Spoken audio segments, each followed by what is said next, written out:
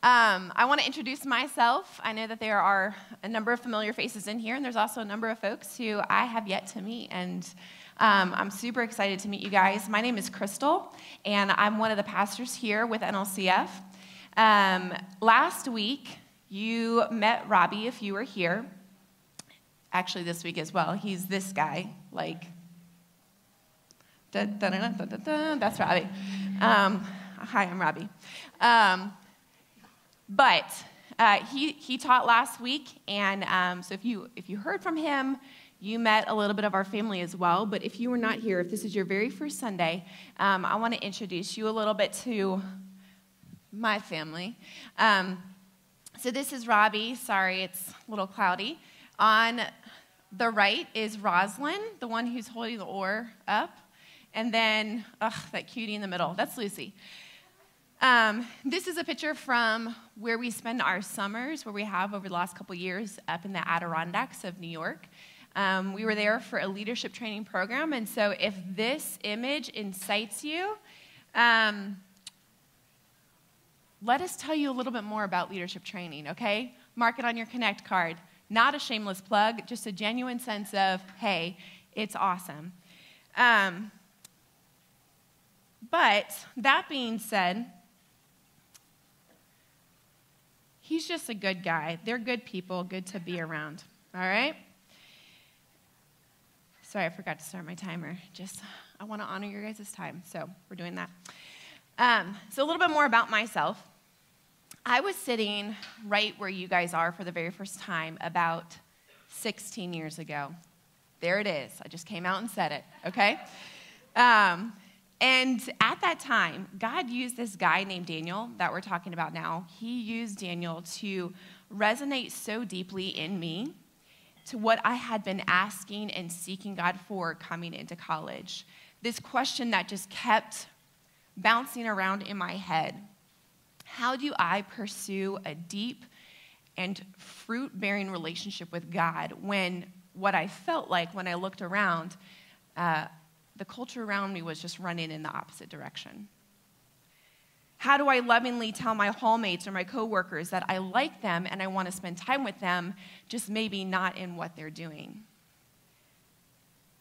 How do I actually gain territory in my faith when I'm being pulled in different directions by my parents and my friends and my professors and my boss and cultural expectations? How do I get back up on my feet in pursuing God when I've lost sight and I've lashed out in anger. I cheated on a test. I'm deep in despair. I made an inappropriate comment that now somebody else is carrying with them. That I got caught up in the party scene when my heart told me this is not where you should be, or even shared intimate moments before it was glorifying to God. How do I remain faithful to God when it's so easy to not? So let's go ahead and pray, and then we're going to talk about this King of all the earth, looking a little bit more at Daniel. Let's pray. Father, in all things, may you be glorified. Lord, even now that our hearts and our minds and our, our bodies would be stilled, and that our spirit would be awakened to your word. Lord, my prayer for this is, has been really that you would just give us ears to hear. You will take care of what it looks like to follow. But God, even just in these words, would you help us to hear from you? Speak to our hearts, speak to our understanding, speak to our eyes and our minds. We are here, Lord. We are present speak. Amen. So, today we're going to continue in our Daniel series. Um, if you do have your Bible, I want to encourage you to go ahead and get it out. We're going to actually be bouncing around a little bit this morning, um, spending a lot of time in the Word. If you don't have a Bible or you don't have a Bible app, it is going to be up on the screen, and that might be just as helpful because we're going to be um, all the way from the middle of the Bible to New Testament to Old, Old Testament, all right? Um, so this morning we're starting out in Daniel chapters 4 and 5. And in these two chapters, we get this description of the end of the, the lives of two Babylonian kings. Um, the father, who's King Nebuchadnezzar, he's the one who we've been talking about up to this point, right? Um, over the last few weeks and all the different scenarios with Daniel and Shadrach, Meshach, and Abednego and all that kind of stuff. That has been Nebuchadnezzar. And then in chapter 5, we're going to talk about Belshazzar. This is not to be confused with Belteshazzar, who was actually Daniel. I know it's a little bit confusing, but Belshazzar. All right, now we're squared away. So last week when Robbie was teaching, we saw um, that Nebuchadnezzar decreed that nobody should speak against Shadrach, Meshach, and Abednego's God, right? We're seeing already that there are these moments that Nebuchadnezzar has been confronted with where he's recognizing the powerful and might of God. He's recognizing that, as he says, no other God can save this way. And so he doesn't say you need to worship the God of Shadrach, Meshach, and Abednego. But what he does say is, you cannot speak against this God, okay? So there's a little bit of a softening there, but we still have some room to grow.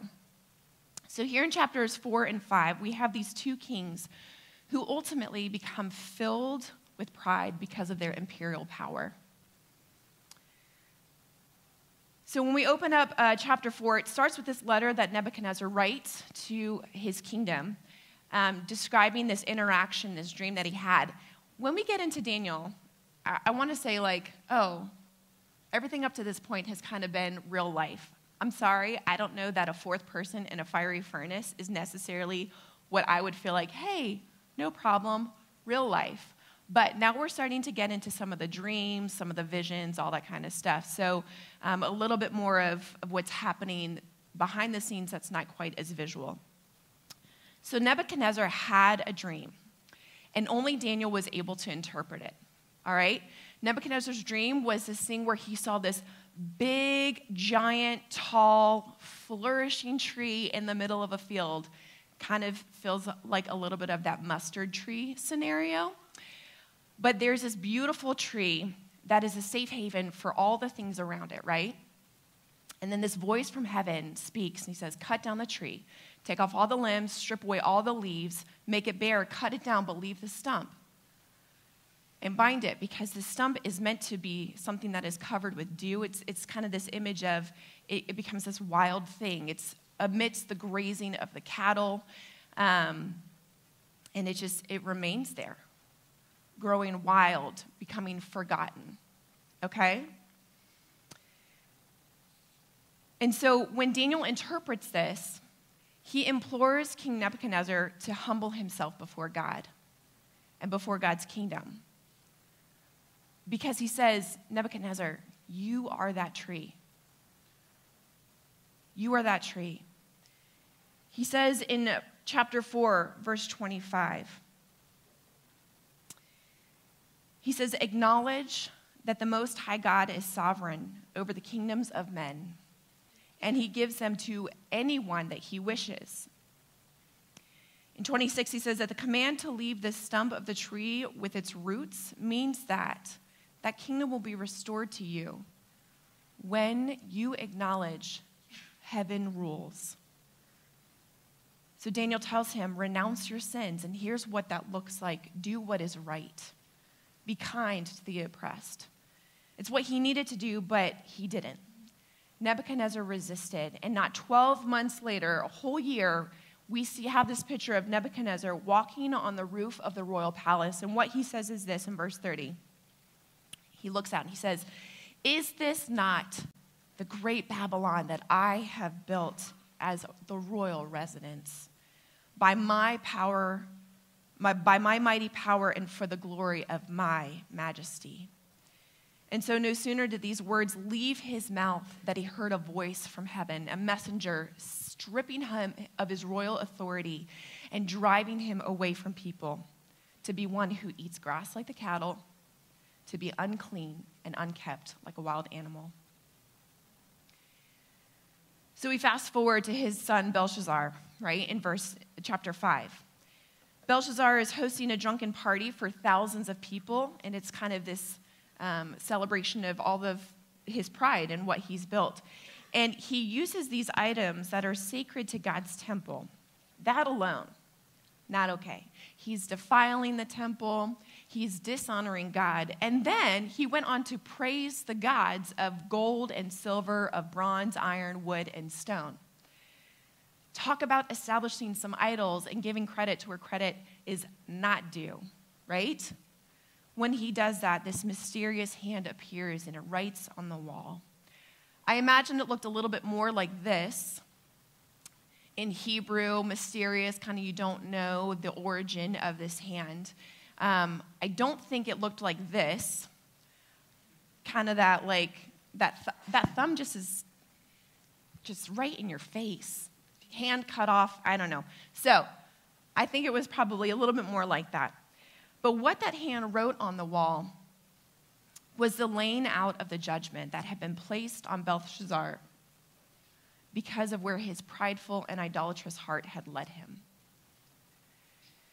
So Daniel, again, was the only one who was able to interpret the message on the wall, and he says to Belshazzar, he says, You know what happened to your dad. You know the dream that he had and how it came to fruition because he was unwilling to humble himself and acknowledge that it is the Most High God who is sovereign over the kingdoms of men.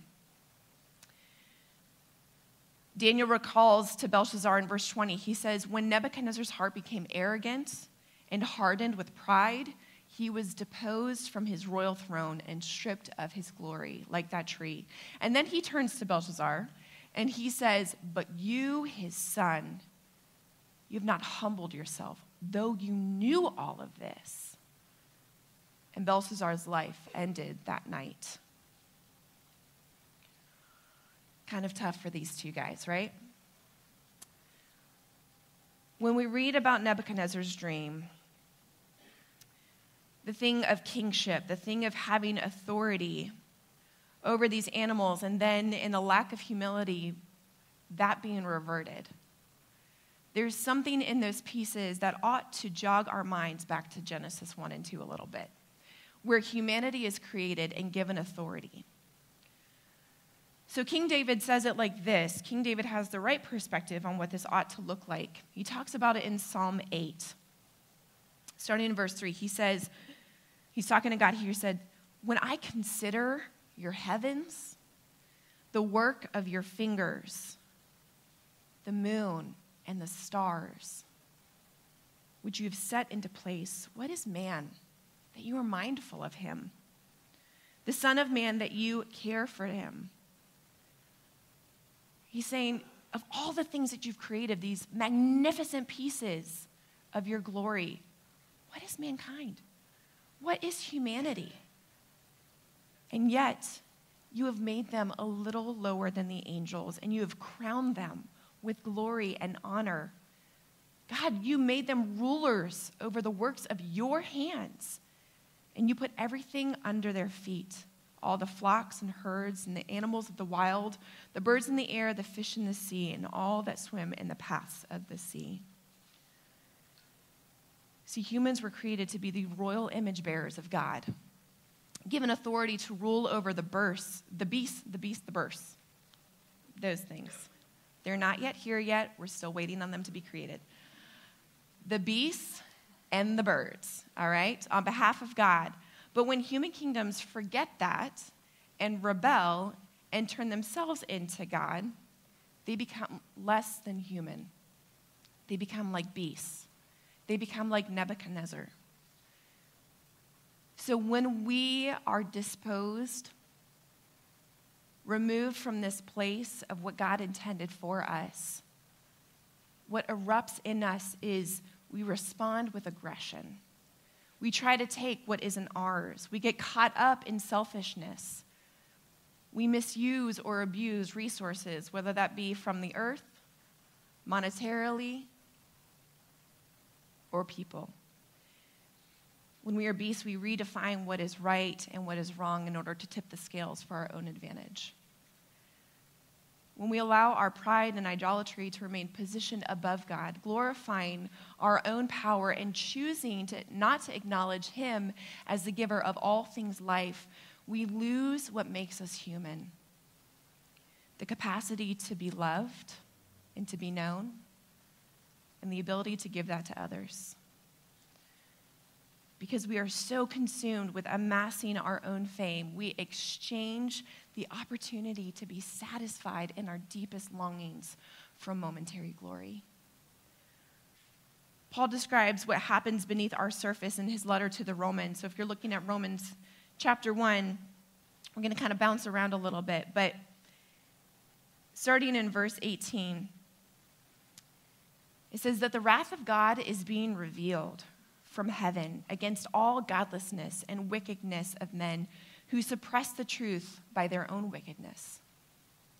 Basically, saying, God is entering in and saying, I'm, I'm not down with this. I'm done with this. You want to have it your way? Okay. Here's what you're wanting. Because since what, what may be known about God is plain to them, because why? God made it plain to them. For since the creation of the world, God's invisible qualities, his eternal power and divine nature have been clearly seen being understood from what has been made so that men are without excuse. This reality that when we look around us, when we look at creation, when we look at the life cycle of a plant, when we look at how gravity works or how these stars and moons, moons, seriously, y'all, how they illuminate the nights. How can we not be drawn in recognition that God is creator, that He is the one who set all these things into motion? And what he's kind of saying is what Daniel said to Belshazzar. He said, You know the story, and you've seen it with your own eyes, and yet you still do not acknowledge God. Paul continues, he said, For although they knew God, they neither glorified him as God nor gave thanks to him, but their thinking became futile, and their foolish hearts were darkened. Sounds a little bit like our kings that although they claimed to be wise, they became fools and they exchanged the glory of the immortal God for images made to look like mortal man and birds and animals and reptiles. And therefore, God gave them over to the sinful desires of their heart. Picking up a little bit later, it says, Furthermore, since they did not think it worthwhile to retain the knowledge of God, he gave them over to their depraved mind to do what ought not be done and they have become filled with every kind of wickedness and evil and greed and depravity. God is not out to instill these things in people or to punish them, even. He has been faithful to pursue us. The God that we seek and serve is a God who will fight for us, who will stand with us as we try to avoid and to flee from these things. But he is unwilling to strong arm us into humbling ourselves. And so when we ask and ask and ask, God, I want this for myself. I want my name to be great. I want people to recognize me, and I want to be the one who is the name shining in lights. He says, okay. Okay. You don't know what you're asking for. But here you go. Here's the stuff I was trying to keep from you. And that is what our unwillingness to humble ourselves before God produces over time these things that emerge in our hearts. But this God that Daniel worshiped, this God that we worship, he is the king who restores humanity. Part of why Belshazzar's pride is so hard to witness in Daniel chapter 5 is because while he knew how God had warmed Nebuchadnezzar, he also knew how this story ended. So if we're to go back to Daniel chapter 4, we're going to read this from the message. Starting in verse 34, he says, This is Nebuchadnezzar, he said, and at the end of seven years, so he'd become beast like, he had grazed, he'd been forgotten, um, his nails were untrimmed, it became like claws, it says, kind of gross. At the end of seven years, he says, I, Nebuchadnezzar, I looked to heaven and I was given back my mind, and I blessed the high God, thanking and glorifying God who lives forever. And this is how we see Nebuchadnezzar humbling himself. He says that his sovereign rule lasts and lasts, and his kingdom never declines and fails. Life on this earth doesn't add up to much, but God's heavenly army keeps everything going. No one can interrupt his work, and no one can call his rule into question. And at the same time, I was given back my mind. I was also given back my majesty and splendor, making my kingdom shine.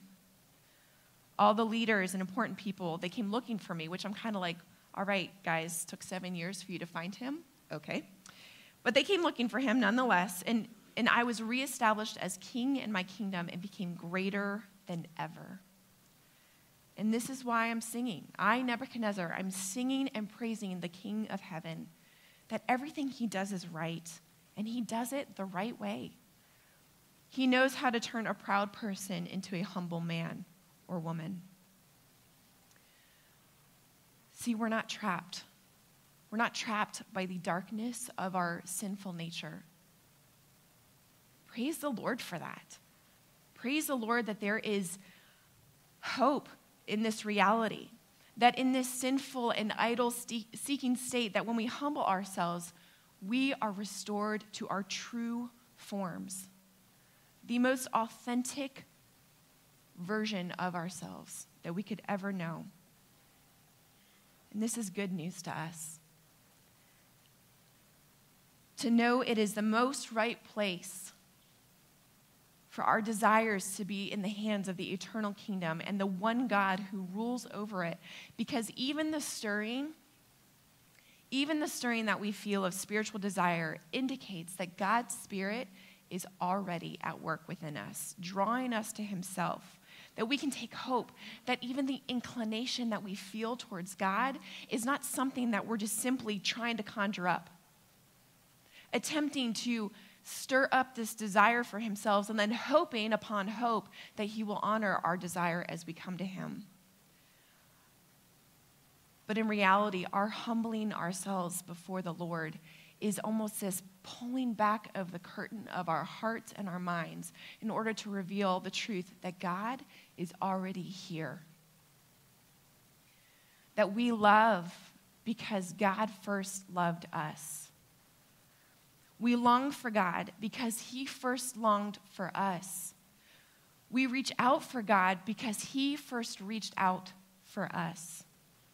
Nothing in the spiritual life originates with us, it all originates with God.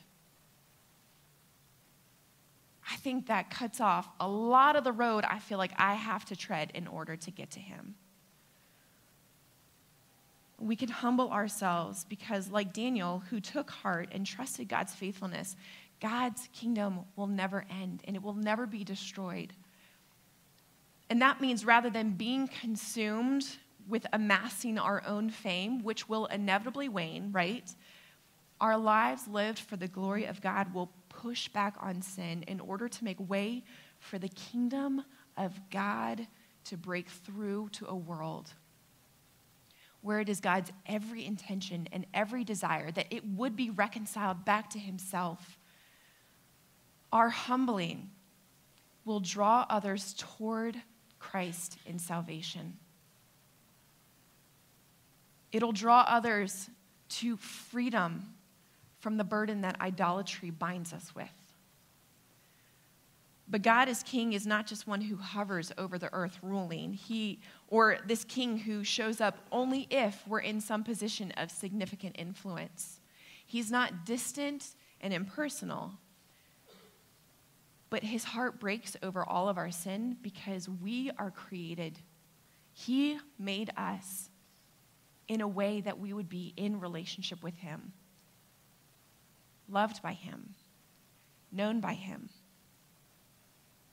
And we may have even heard that God hates our sin, not just because he's holy, which just basically means that it is pure and set apart, which will keep us at a distance from this relationship with God when we're unwilling to let go of our pride. But God hates our sin because he knows what idolatry will produce in us. And his love for us runs way too deep to let us remain lost in ourselves. But it is up to us to turn to Him. I'm a mess, y'all. I fully accept that. You're a mess too. And we got to own that. We have to own this reality that we do not have it all together, that we are not standing where we are because of the greatness that just seeps out from anything that we do. But we can't also let that own us. We can't be claimed and, and taking on this identity that I'm a mess, I can't do it, it's never gonna be enough. Because the reality is, is that these desires for ourselves, for our own prestige, for our own glory, these desires, they lurk in all of us. Look around the room. What you're struggling with, what you're wrestling with, this pride that you feel, or this false pride, every other person is feeling the tug of that as well. The desires lurk within all of us. Their power only gets stronger the longer that we repress them. So, how much safer is it for ourselves and everyone around us if we open up our desires in Jesus' presence and we allow Him to enter into that, to help us sift through those things that we long for? We would be wise to heed the same word that God gave Nebuchadnezzar and Belshazzar to humble ourselves before God we tend to think like Nebuchadnezzar, right? This kind of thing of, okay, let's acknowledge him, let's not speak bad things about this God, but there are still things that I'm pretty great at. We tend to think like Nebuchadnezzar, but Jesus is our model. When we're walking in faith, when we're walking in the life of the church, Jesus is our model. And Jesus, even he humbled himself before God. And what he did is he then let God raise him up to be exalted. Our response is not hard in nature, right? Acknowledge God, invite him to be the master of our lives, but it must be complete. And so that's where we're confronted with some of these tough decisions. But God is in it for the long haul, if we are too. So, what do we do? What do we do in, in just the seeking of keeping faithfulness out in front of us? In, with the Lord's help, keeping our humanity intact? What do we do? I think it begins with this question If I'm not broken over my sin, why is that? This isn't a guilt trip by any means, but this is just a recognition of if I'm not bothered by how quick I am to be impatient or angry, if I'm not bothered by the fact that I'm living a life that is not glorifying to God, why is that? It could be apathy, it could be pride, it could be any number of things but it starts here. And this is an honest question, really, for us to take before the Lord. For us to say, God, would you do some seeking in my heart and in my mind as to where I actually am standing with you? And then, whatever comes from that, just a couple things that we would, would do to live in this life of faithfulness. I think first, we practice confession. Confession is the place where we are met with God's forgiveness and healing. Confession, and I know it's one of those things that's like, I feel awkward or uncomfortable or embarrassed to kind of just lay it all out. You can start with the Lord. But for most of us in here, this is not a regular thing that we do. God already knows, He already knows. So that's kind of helpful to kind of break down. So a lot of the barrier that we feel is likely because it's on us. But He's going to receive us. So we come to Him in confession, and we're met with His goodness. In confession, share regularly with the Lord or with somebody around you when you recognize that you're seeking for yourself. When you're having a hard time just letting go of this desire to gain glory for you. Confess the parts that are hard to, to pursue humility in. This thing of, well, I am actually pretty good at this. Or it feels good that my name is the one that's called out to be known for this. Confess that it's hard. Confess when you grow more impatient with being inconvenienced. And seek counsel frequently. There is a, a monk that in the 13, 1400s who his job in the monastery was to um, kind of give this crash course to new monks of what it looks like to pursue God. His name is Thomas à Kempis. And um, in this book that he wrote, he was talking about this aspect of confession. And it is one thing for us to muster up enough courage to be plain with somebody and to share our hearts um, with somebody in our, our sin. But it's also something when we are the person who people come to. And so this is a little bit of instruction here. He says that when someone else is tempted and comes to you and confesses, do not treat them harshly, but on the contrary, console and encourage him. Show him the same kindness that you yourself would like to receive. So we confess. Secondly, we engage worship as a daily discipline. Worship realigns our rightful position with God. Worship claims that He is the one who is worthy of all the praise, and we are the ones who get to give it. Worship is a time that we offer ourselves and our talents and our knowledge back to the Lord as this proclamation that really it was all His to begin with, to do with it as He sees fit. And this isn't just a thing of make sure you're singing your heart out any time of the day. Worship can become a lot of practices. In a couple weeks, we're actually going to do a whole series um, on worship. So stick around for that. Um, but worship is the place where we develop dependence on God for anything significant to happen and where our obedient response to the kingship of God is cultivated.